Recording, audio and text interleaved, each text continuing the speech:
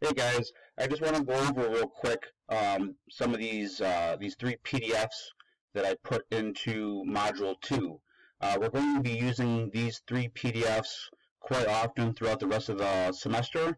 So when I close out Module 2, um, all these PDFs will go into the Resources tab on your Blackboard course, and you can access them from there. The first one I want to go over real quick is the PDF called Auto Trans Technical Terms. Uh, this is just a three-page PDF. The first page right here has some abbreviations that are very common uh, in the automatic transmission field. Um, you might want to get used to some of these abbreviations cause, cause, because you're going to see them uh, used throughout the semester. The next two pages are just a glossary of technical terms. Uh, you need to become familiar with these terms as well because these will be used a lot uh, as we talk about automatic transmissions, and you need to understand uh, what it is that I'm talking about. So I would suggest that you review this, understand what some of these words mean and what they and you know what they're called, and then as we go through the semester, I'll explain each one of these more in detail. And you always have this to refer back to if you don't know what something is called. The next PDF I want to go over is called the AT Identification Guide PDF. Um, this is a resource on different ways you can identify an automatic transmission or actual tools that you can use in this PDF to help you identify them. Uh, so we'll go through this little first part real quick. Here you see a Chrysler, a Ford, and a GM automatic transmission uh, pan gasket shape and bolt patterns. So and it defines them by front wheel drive, rear wheel drive, and then it shows you what the gasket looks like, how many bolts, and the transmission model number. These are good if you're working on something a little bit older, maybe from the mid 2000s or so uh, and earlier. These will apply and be very handy to identify what kind of transmission that you have. Another place that you can identify an automatic tra transmission, you'll see down here, is that each transmission should have a tag or a label or something that is put onto the transmission and it'll have some coding and this kind of tells you how um, you know they're typically broken down. You can always use manufacturer resources to confirm whatever information that you find on a tag. Here's another example of a transmission uh, identification tag and tells you what these numbers mean. Here's another example of a Ford um, they have a metal plate that's riveted right onto it and it gives all their information. So this is really, really handy if you just have an automatic transmission on a bench and you don't know what kind of vehicle it came out of. Uh, you're definitely going to have to be looking on the transmission somewhere or an oil pan to figure out what type of transmission that you're working on. More than likely, what you will encounter out in the field if you're not working in an automatic transmission shop is the vehicle will be in your bay and you'll know exactly what kind of vehicle it is because you have to take the transmission out of it.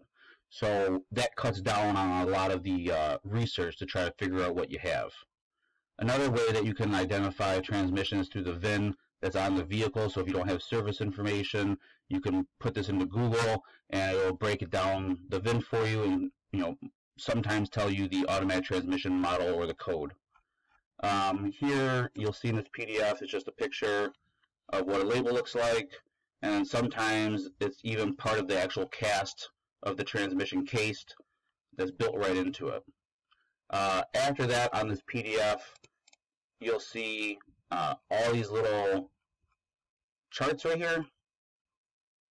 So this is broken down alphabetically by manufacturer, and this goes up through model years of 2006, but it's such a handy resource um, that I, I had to include it. And if you look at one of these, you'll see that you might have to play around to zoom on, on some of these PDFs. I'm sorry about that. I'll, I tried to fix it, but um, I can probably resize the picture and make it a little bit better. So maybe I'll do that eventually. But for right now, I'm sorry that you have to may, may have to zoom in and out. Um, so anyway, so on here you see Acura, Audi, um, it gives you the model of the vehicle, the years, the transmission type, the engine type, the transmission model, and it gives you some remarks over here. So if you have a model year 2006 and earlier, uh, this right here is a great resource to figure out what type of transmission is in a vehicle. The last PDF I want to go over is the automatic transmission internal parts overview. Uh, we're definitely going to be using this PDF quite often throughout the whole semester. Um, for right now, I just want you to be looking at this. I want you to review what's in the information.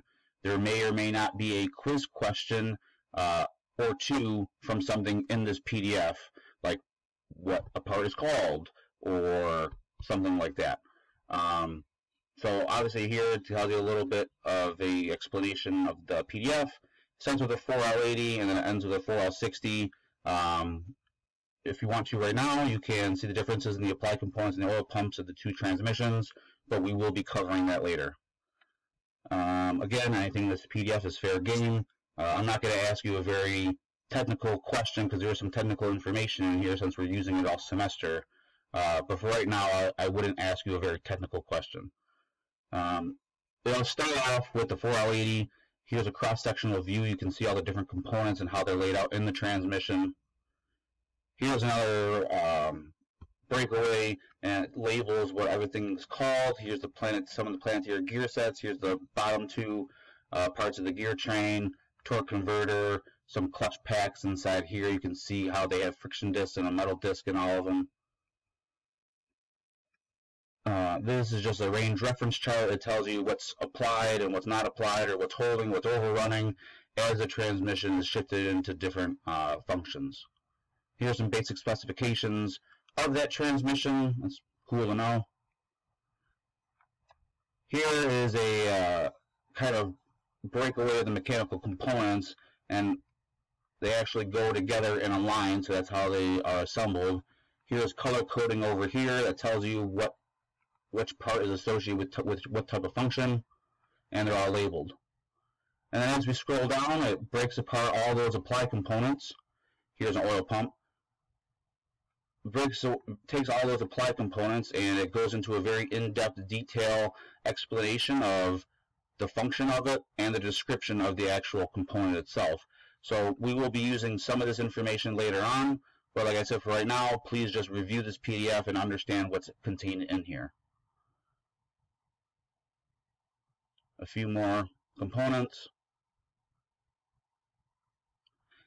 Here's a breakaway view uh, parts listing or exploded view parts listing of all the parts that are in the entire transmission and it gives you uh, some nomenclature over here on what those parts are called.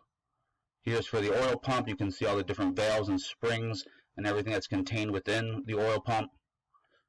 Same thing with this clutch assembly, um, all the internal components. So these, this would be all the components that are in this PDF broken down to show you what makes them up. So you, like on this center support right here, you can see uh, these sealing rings, the, this big seal right here, this retaining spring, the piston, the snap rings that go into the case, the clutch packs, the pressure plate, the bushings.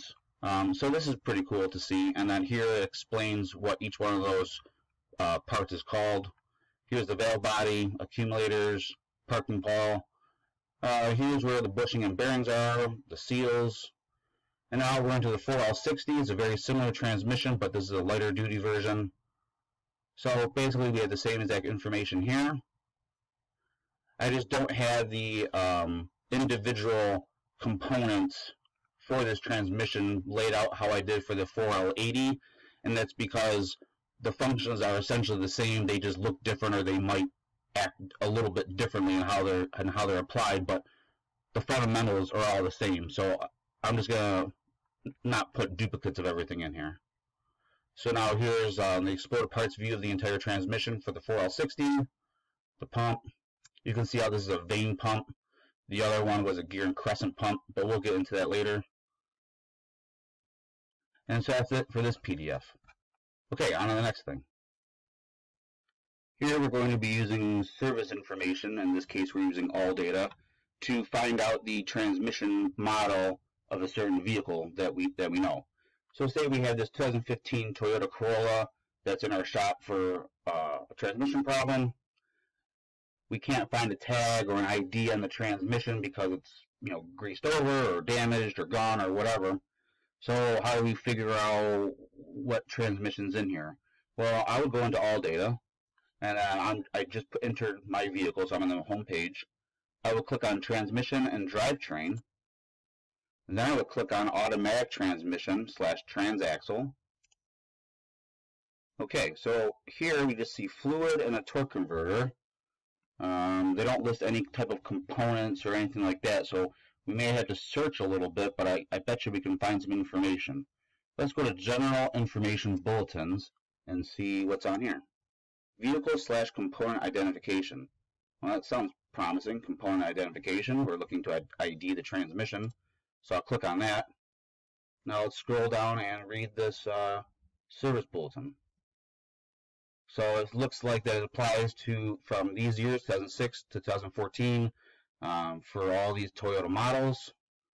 Uh, the Corolla is in there. It's a 2015 Corolla, but this information is valid for this. So there's telling us some notices. Let's keep, oh, here we go. This looks pretty good right here. So here's the transmission model. Here's the model of the Toyota. Here's the model year. Here's the engine. And then the serial number, if we could find that tag, here's an explanation of what that serial number means. So, oh, here's a Corolla, but oh, this is 2006, 2008. So let's scroll down until we find a Corolla that fits into the 2014 year.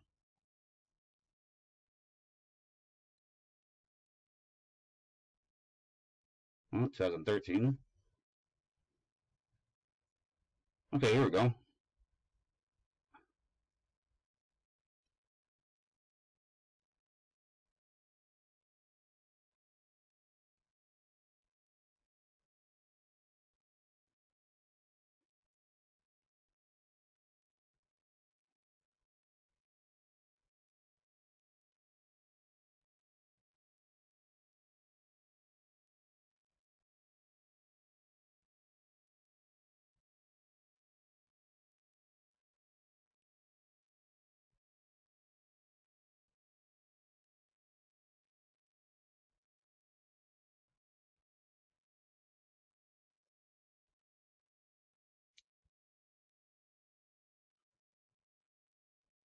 Okay, so we see here that 2009-2014 Corolla for the engine 2ZR.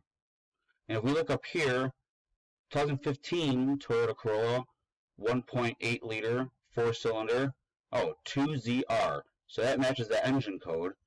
And this gives us a U34 pound sign, pound sign. So let's see if there's something else down here.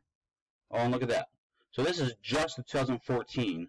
And since this is a 2015, I would be more comfortable using just the designated 2014 uh, information rather than the 2009 to 2014 information. Uh, this seems like this would be a better choice. Again, our engine code 2ZR matches up with this up here, with our vehicle that's selected. And here's the transmission model, which is K313. Toyota Corolla 2014 so I would be uh, safe to say that this 2015 Corolla that we have in the shop has a K313 uh, automatic transmission in it.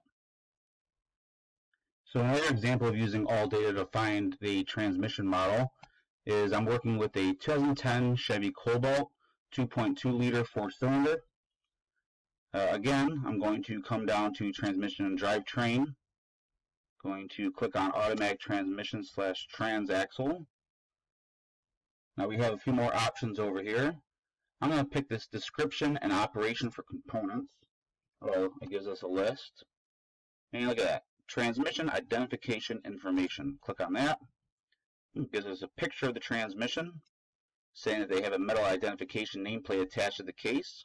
So maybe perhaps we were looking in the wrong location. We can go verify if we could find this now. And um, down here it says the Hydra-Matic 4T45-E transmission. So what it's telling us is that in this 2010 Chevy Cobalt, it has a 4T45E automatic transmission. That's pretty simple.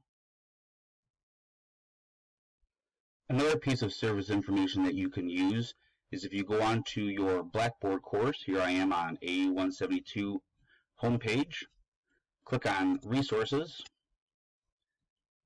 Scroll down. Now, if you have Electude, uh, which you should because it's required textbook for the entire program, you will have an automatic subscription to what's called MotoLogic. It's like ALLDATA, but through Electude. So you can click on this link right here in your resources, and that'll take you directly to MotoLogic through Electude. Now, when you're on this page, what you want to do is click on Motor Logic Repair and Diagnostic Data, and then Start Module.